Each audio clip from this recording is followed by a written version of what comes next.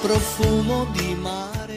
Fingete di non ricordare, nessuno vi crederebbe. I versi di Little Tony in questi primi giorni di agosto non possono che tornare alla memoria. Erano gli anni 70 quando la Pacific Princess, la nave da crociera divenuta celebre per aver ospitato la famosa serie televisiva Love Boat, cominciò a solcare le onde. Un viaggio durato più di 30 anni se si considerano le infinite repliche che i vari canali televisivi fino a poco tempo fa hanno riproposto portando nelle case i volti rassicuranti del capitano Merrill Stubbing la direttrice di crociera Julie McCoy, il barman Isaac Washington, la figlia del capitano Vicky Stubbing, il dottore Adam Bricker, ma anche gli immancabili intrighi d'amore che nascevano e si spegnevano nel tempo di un tramonto sul mare.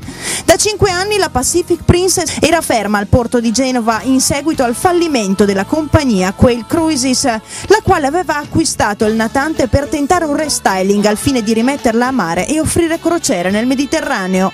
Prima ancora vi era stato anche un sequestro nel porto di Pireo per il rinvenimento a bordo di 25 kg di eroina, frutto del contrabbando di due uomini di equipaggio filippini. Ma il destino per Love Boat aveva scritto una pagina diversa. La Pacific Princess infatti ha lasciato il porto genovese con timone puntato verso la Turchia dove verrà smantellata.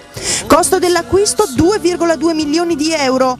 Dopo i rumors relativi agli acquisti da parte di commercianti di rottame della Costa Allegra e del relitto tristemente noto della Costa Concordia, anche questo romantico pezzo di storia televisiva fa così rotta su Ankara. Forse solo